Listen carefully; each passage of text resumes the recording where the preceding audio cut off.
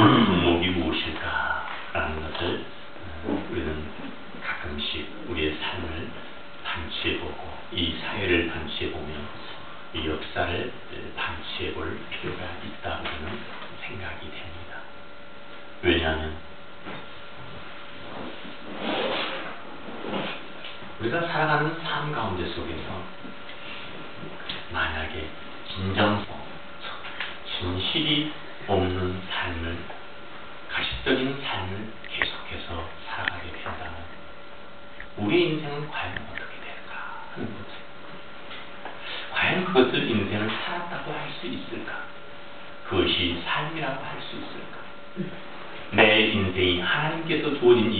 속에서 과연 인생의 의미를 가지고 살아간 삶이라고 평가할 수 있을까? 우리는 상업 질문을 하지 않을 수가 없는 것입니다. 그렇기 때문에 우리 인생을 뒤돌아보면서 10년, 20년, 30년, 아니 50년, 60년, 70년의 인생을 우리가 살아오면서 얼만큼 아버지 안에서 진정성을 가지고 의미 있고 가치 있는 시간에 전력 투구를 하며 아버지 앞에 부끄러움이 없는 삶을 살아가기 위해서 몸부림을 했는가 오늘 우리 인생의 중요한 가치와 의미를 규정하고 그 살아간 삶의 보람을 결정한다는 것입니다. 오늘 본문 누가복음 6장 30절 36절의 본문은 바로 마태복음에 나오는 산상순의 본문과 같은데 주님의 말씀 가운데 서서 산상에서 복음을 전하실 때 그 복음의 핵심의 근간들을 보면 참으로 몇 가지의 핵심적인 단어를 우리가 찾을 수가 있다는 겁니다. 하나님, 예수 그리스도, 그리고 무엇보다도 진실함, 빛, 소금, 그리고 우리가 참된 인생길을 걷는 게 무엇인가 이런 것들에 관한 주제들이 다 거기에 들어가 있습니다.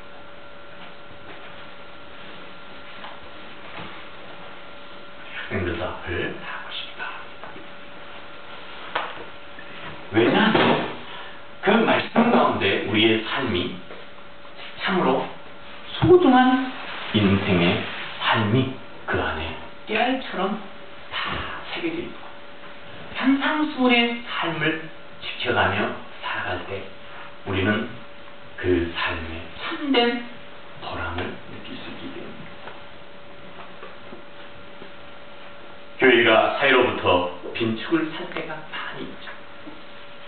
또 기독교인이 손가락질을 당할 때도 그런데 한번 생각해 보십시오. 교회가 조그만 잘못을 하고 그리스도인이 조그만 잘못을 하면 어때요? 신문에 대해서 특필될 뿐만 아니라 또한 우리는 비난의 목소리를 감수하지 않을 수가 없는 것입니다. 어떤 사람은 이렇게 얘기합니다. 아니, 세상 살아가는 사람들이 얼마나 진정성이 없고 진실함이 없고 또 사기도 많이 치면서 살아가는데 크리스찬들이 조금만 잘못하고 교회가 조금만 잘못하면 뭐 그렇게 크다고 그렇게 대서특필하는가 이렇게 얘기하고 합니다. 제가 한 친구를 만났습니다. 잠깐 명성교회 얘기를 짧게 하는 순간에 그런 것을 캐치했습니다. 명성교회 이야기가 신문에 대서특필되고 일면에 크게 나와서 교회의 부조리함이 적나라하게 드러났습니다. 그리고 명성교회 하는 우리나라에서 최고의 새벽기도를 하는 교회요. 그리고 무려 6만 명이 되는 교회이고 또 우리가 다 알고 있는 훌륭하신 목사님 김상환 목사님이 계십니다. 그런데 계속해서 신문에 일간지에 오릅니다. 그래서 제가 물었습니다. 거기에 안수입사로 있는 친구에게 물었어요. 왜 명성교회가 이렇게 계속해서 일간지에 올려야 하는가? 이렇게 물었더니 친구는 그런 얘기를 합니다. 우리는 신경을 안 쓴다. 항상 그런 사람들이 그렇게 한다. 엘리트 계층이라고 하는 좀 똑똑한 사람들, 기자 그룹들이 있다. 이런저런 이야기로 넘어가면서 우리 목사님은 내년에는 내년에가 이제 정년 그러니까 별반 상관이 없다. 우리 교회 문제 없다. 그래서 저는 쉼 순간적으로 띵 하면서 생각을 해봤어요. 그 친구가 좀 꽤 생각이 있다고 하는 친구라고 생각을 했는데 아, 전혀 그런 부분에 대해서 어, 개의치 않는다 이렇게 생각을 해버리는 거예요. 그 다음 두 번째 주제에 이렇게 갔습니다. 아, 이번에 국회 연설을 하고 박근혜 대통령이 국회 딱 문을 나오는데 세월호 유족들이 상당히 그 표정 보셨어? 박근혜 대통령을 만나기 막 팔을 동동 구르면서 있는 겁니다. 박근혜 대통령이 이번에 나오면 꼭 한번 만나주자 생각했는데 박근혜 대통령이 옆에 눈길도 돌리지 않고 앞을 보면서 탁 나갔습니다. 그때 저는 그 싸늘한 그 시선 속에서 대통령이 그 차가운 눈빛과 냉담한 표정 속에서 아 정말 일 없구나 이런 생각이 들었어요. 그래서 그 얘기를 잠깐 나눴더니 기업에 있는 친구, 현대그룹에 있는 친구나 또 그 친구가 그런 얘기를 하는 거예요. 우리 명성기 목사님 설교할 때 자주 그런 얘기를 하신다는 거예요. 빨리 끝냈으면 좋겠다, 세월. 빨리 정식됐으면 좋겠다. 더 이상 울고 늘어지는 것을 볼 수가 없다. 뭐 이런 얘기를 하죠. 그래서 제가 또 충격을 또 받았어요. 사랑하는 교회 여러분. 제가 그래서 그딱 한마디를 했습니다. 사랑하는 친구, 나는 경제 살리기라든가 때로는 기타 교회가 성장하지 않는 것을 반대하지 않는다. 그러나 중요한 것은 가장 중요한 것은 무엇이 하나님과 나와의 관계 속에서 교회와 민족과 지도자가 진정성을 갖지 않고 그 어떤 것을 행하게 된다면 그 다음에 결론은 어디로 가는 것인가 하는 것이죠. 저는 산상수훈의 말씀을 보면 바로 그런 생각을 갖게 한다는 것입니다. 사랑하는 교회 여러분, 우리는 한번 생각해 볼 필요가 있습니다.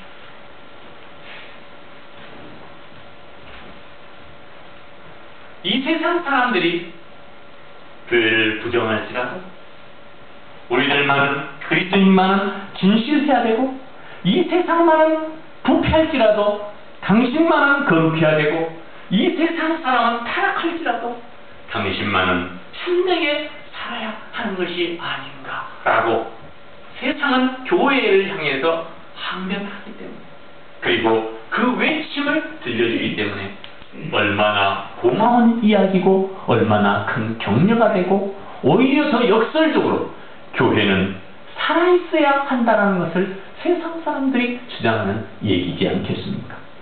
그런데 우리는 조그만 교회를 험집 잡아도 조그만 교회의 문제점을 지적해도 우리는 세상과 비교하면서 그의 10분의 1도 안 되는데 100분의 1도 안 되는데 교회를 향해서 질타해 라고 우리는 반발을 한다는 것입니다. 그렇다면 왜 예수님께서 우리들에게 그러한 소중한 산상순의 말씀을 전해주실 필요가 뭐가 있었겠습니까? 왜 여러분들에게 빛이 되고 여러분들에게 왜 소금이 되고 여러분들에게 왜 이 세상에서 참으로 하나님께 칭찬받는 사람이 되라고 우리 주님은 한 강론을 하셨을까 하는 것입니다.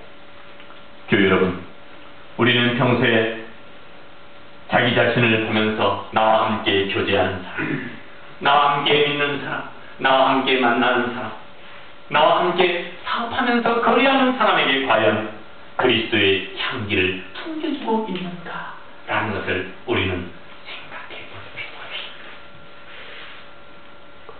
오늘 성경 말씀은 우리에게 몇 가지 교훈 그리고 그리스도인으로서 인생은 어떻게 살아야 하는가를 말해주고 있습니다. 여러분, 오늘 말씀은 우리들에게 그런 말씀을 주고 있습니다. 하나님이 세상에서 그리스도인들에게 요구하는 것은 그들이 하나님의 도덕적 기준에 순종하고 하나님을 자녀로서 사랑을 행하고 부끄러운 행동을 피하고 하나님의 형상을 여러분들은 지닌 자로서 바로 하나님의 자녀다운 품위를 잃지 말라라고 오늘 말씀하고 계십니다. 곧 다른 사람들과 구별된 삶을 살아가는 것이 그리스도인이고 바로 그러한 일을 행하는 자가 바로 주님의 제자라고 말씀하십니다. 그리스도인들은 모든 종류의 합법적인 인간 활동을 다 몰두하며 살아야 합니다. 그와 함께 기독교인의 가치 체계와 인생관에 의해서 또한 행동해야 합니다.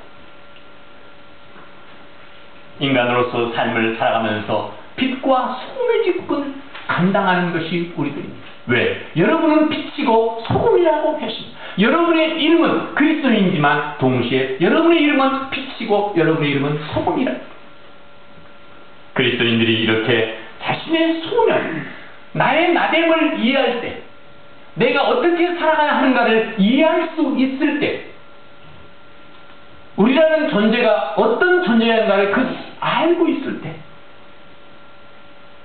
나의 소명을 깊이 이해할 때, 기독교는 어둡고 혼탁한 세상에서 큰 변화를 일으킨 그런 문화적인 힘이 되고 생명의 힘이 되고 이 사회를 선도해 갈 수 있습니다. 그러면 기독교인이라고 허물이 없다는 것입니까? 아닙니다. 우리도 나 자신도 허물이 많을 수 있습니다. 우리 자신도 부족하고 연약하기 그지없습니다. 그럼에도 불구하고 아버지께서 주신 이 말씀이 우리에게 생이 되는 것은 우리의 삶의 궁극적인 목표와 삶의 지향전, 소명이 바로 우리는 세상의 빛과 소금이고 그리스도인들은 세상의 변화를 시키기 위해서 내가 오늘 이 자리에 예배 부름을 받았고 그리스도인으로서 부름을 받은 줄 믿습니다. 사랑하는 교회 여러분, 그러기에 우리는 하나님의 자녀답게 살기를 원합니다. 이 세상에는 여러 종류의 사람들이 있습니다. 그 본성이 악하기도 하고 동물적이기도 하고 인간적이기도 하고 또는 하나님의 본성을 가지고 살아가는 사람들도 있습니다. 나에게 선을 베풀고 은혜를 베푼 분들에게 악하게 대한 그런 가장 악마적인 본성을 갖고 사는 사람도 있습니다. 나에게 사랑을 베풀어 주신 분들에게 오히려 미움으로 갖고 또 나에게 축복해 주신 분들에게 오히려 저주하며 사랑하는 악한 사람들도 얼마나 많은지 모르. 부모로부터 많은 사랑을 받았음에도 불구하고 부모를 학대하는 사람들도 많습니다. 성경에 보면 예수님의 사랑을 그렇게 많이 받았던 가룟 유다 어찌 보면 은 30년이 탐나서 예수님을 팔지 않았습니까? 예수님의 사랑을 받던 수많은 그런 백성들 어찌 보면 결정적일 때 예수님을 십자가에 못 박으라고도 하였습니다. 어찌 보면 오늘 인간은 많은 세상을 살아가면서 너무 동물적인 본성 그 자체만을 가지고 살아가고 있습니다. 오늘 우리들에게 주님은 말씀해주고 계십니다.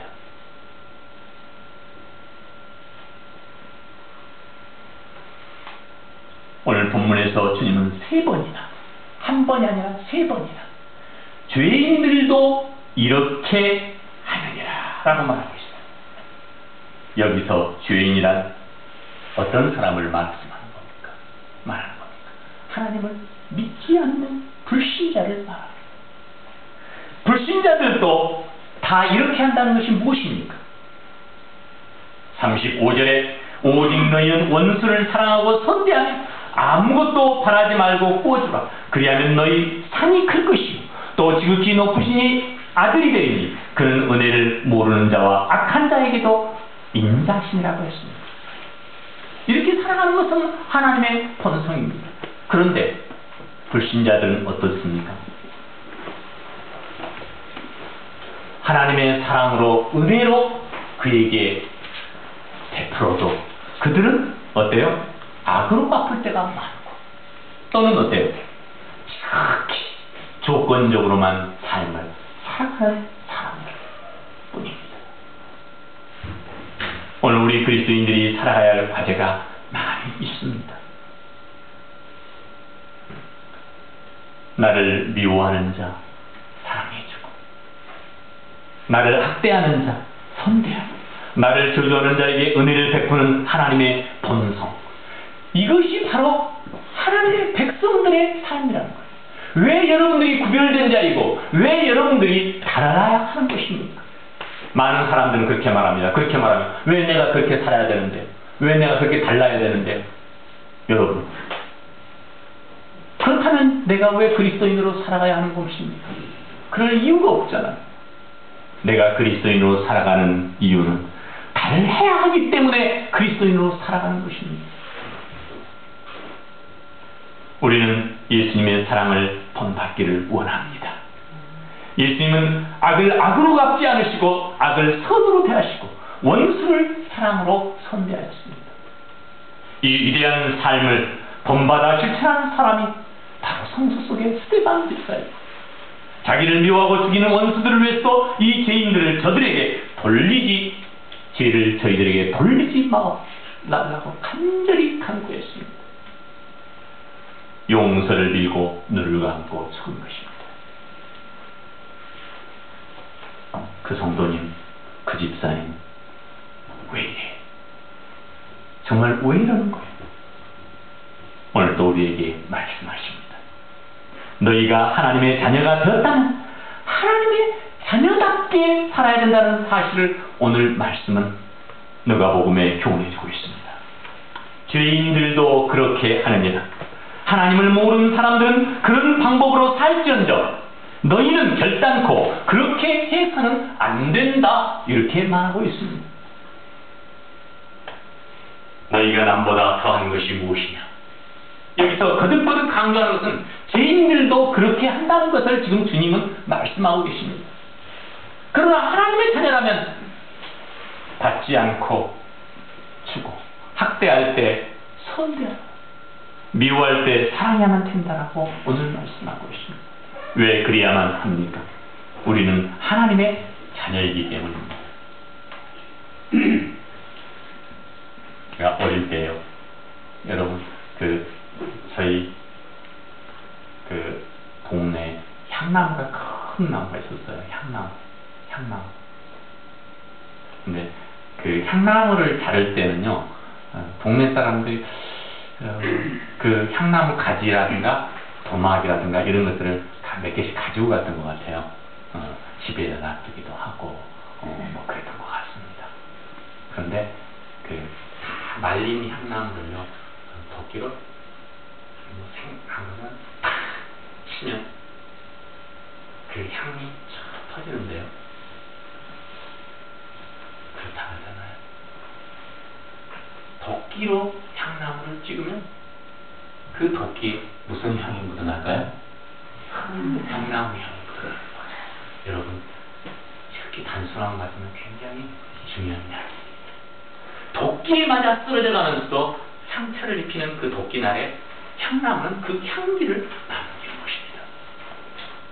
우리는 그리스도인으로서 이 세상 사람들이 나를 통해서 우리로 하나님의 영광을 볼 수 있게 만들어야 하는 줄 믿습니다.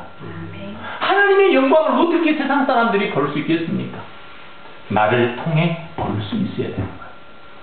우리는 그리스도인으로서 이 세상 사람들이 나를 통해 그렇게 볼 수 있었는데 아내가 남편을 통해서 남편이 아내를 통해서 자녀가 부모를 통해서 볼 수 있어야 하는데 항상 저와 우리 모두는 그런 모습을 살아가는데 부족했습니다. 여러분, 저와 우리 모두가 아내로서 남편으로서 부모로서 각각 우리를 통해서 하나님의 영광을 볼 수 있도록 다시 한번 참여하고 우리가 아버지의 말씀으로 돌아가 하나님의 자녀답게 사는 그리스도인 되기를 소원합니다. 여러분, 도끼날이 비록 드리워져도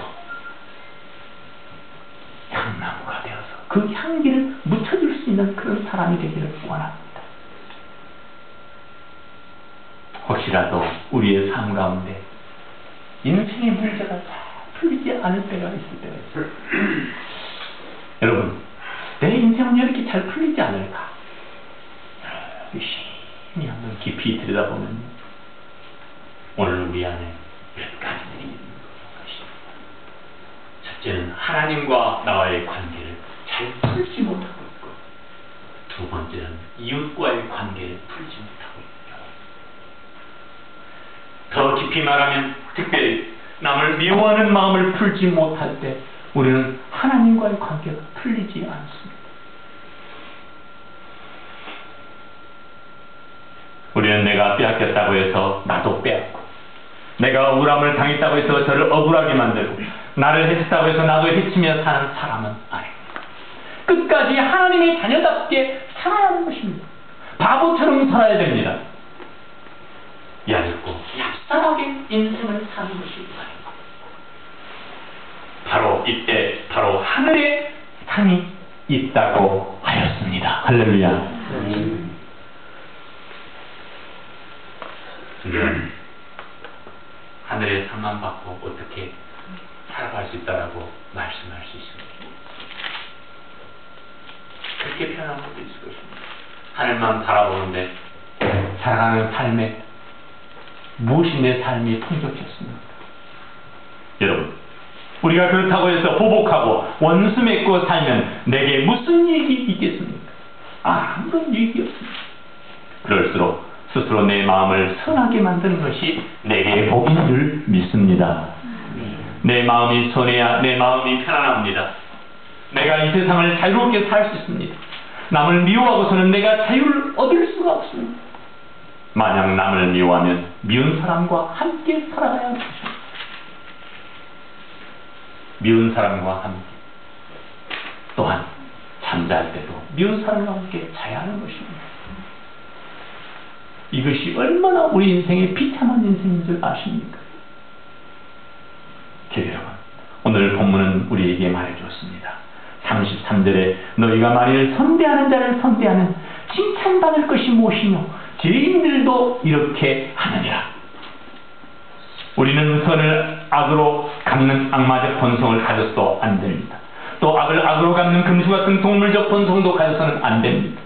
겨우 세상 사람들도 하는 것처럼 선을 선으로 갚아주는 존재가 아니고 악을 선으로 대갚아줄 수 있는 그런 하나님의 본성을 가지고 이 세상을 살아갈 수 있는 그리스도인이 되기를 소원합니다. 내게 공부시켜주고 사랑해주고 유산 물려준 부모에게 잘하는 것이 무슨 효도입니까? 물론 요즘 세상엔 그렇게만 해도 엄청난 큰 효도라고 말합니다. 그러나 이것은 세상 사람들도 다 하는 것이라고 했습니다. 여러분 잘 생각해야 합니다. 우리 그리스도인들은 부모님이 나를 어릴 시절부터 호의호식하게 키우지 않았을지라도 그 부모를 잘 받들어 들을 때 하나님께로부터 효자라는 말을 듣게 될 것입니다. 사랑하는 교우 여러분, 사도 바울이 로마의 핍박 속에 있는 기독교인을 향해서 권면하는 말씀, 미워하는 자를 선대하라 이거였습니다. 사랑하는 교우 여러분, 우리는 이 말씀 속에서 한 가지 큰 교훈을 얻을 수 있습니다. 즉, 칭찬받는 사람이 되라는 것입니다. 그리스도인들은 삶 속에서 감동과 은혜를 끼칠 수 있는 존재가 되어야 한다는 것입니다. 누가복음 6장 31절에 남에게 대접하고자 하는 대로 너희도 남을 대접하라고 했습니다. 이것이 또한 마태복음 7장 10절에 선지자의 율법이요 선지자의 강령이라고 했습니다. 말씀을 정리하고자 합니다. 오늘 우리가 어떻게 하면 이 세상을 살면서 하늘을 보나 땅을 보나 매사에 하나님의 마음을 품고 살 수 있겠습니다. 다른 것 없습니다.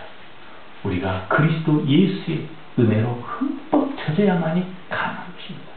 은혜 받지 않으면 우리가 그리스도의 은혜를 체험하지 않으면 예수 그리스도의 나를 살리심에 체험하지 않으면 그것을 간절히 느끼지 않으면 오늘 우리는 인간의 머리로서는 절대 불가능한 것이고 내 의지로서 불가능한 것이고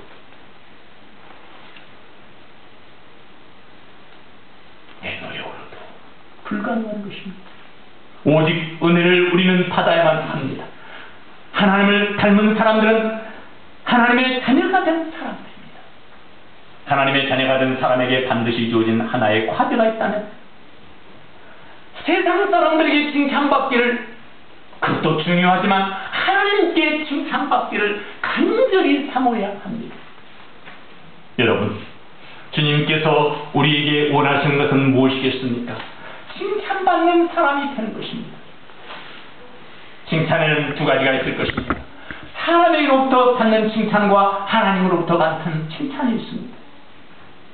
사람들로 받는 칭찬도 좋은 것이지만 때로는 악한 자의 칭찬도 있기 때문에 오늘 읽은 누가복음 6장에 나오는 하나님의 칭찬은 하나님께서 주시는 그 칭찬을 의미하는 것입니다.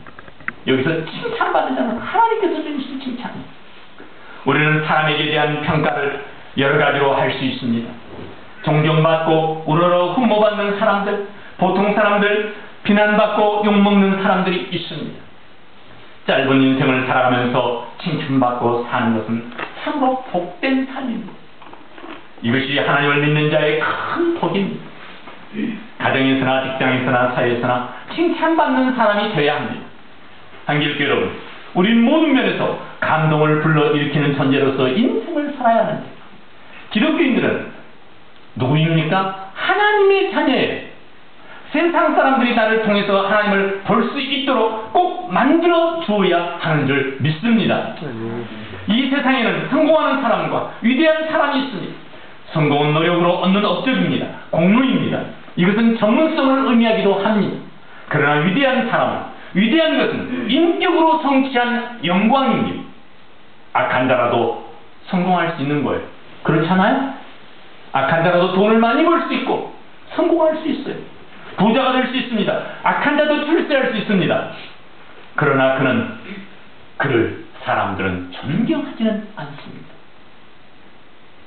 또한 그를 칭찬하지도 않습니다. 그러나 높은 인격으로 살아갈 때 칭찬받는 사람이 되고 존경받는 사람이 되는 것입니다.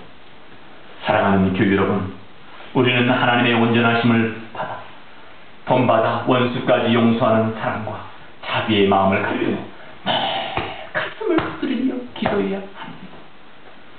이러한 일은 인간의 노력으로 되는 것이 아니라 오직 아버지의 은혜로만 가능한 일이기 때문입니다.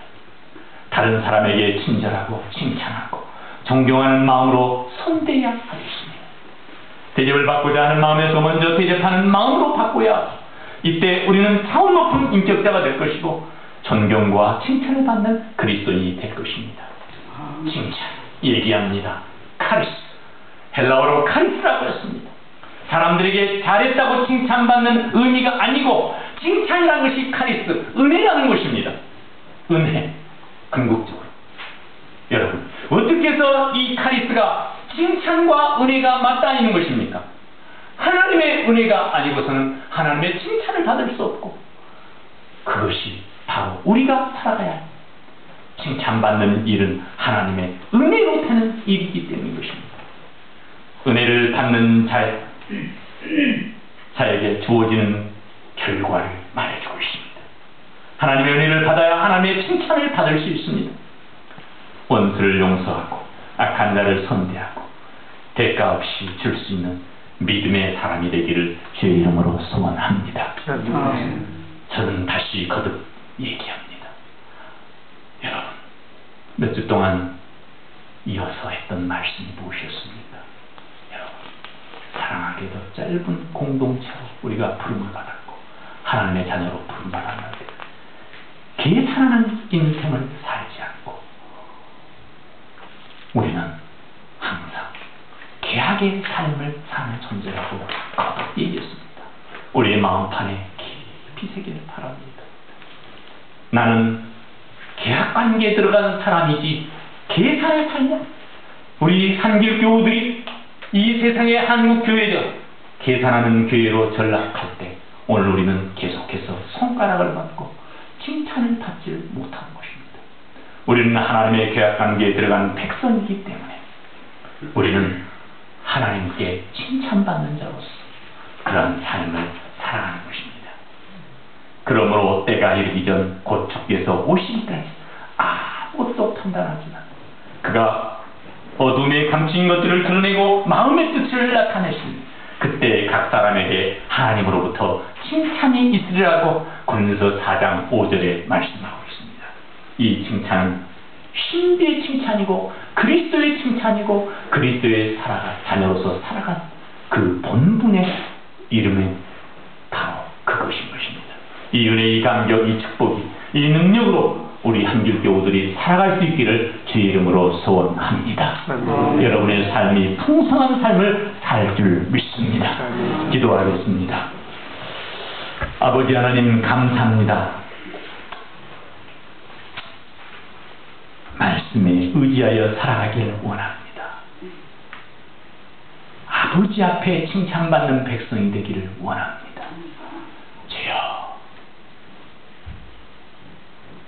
우리가 믿음 생활하면서 서로를 판단하지 않게 도와주시옵소서.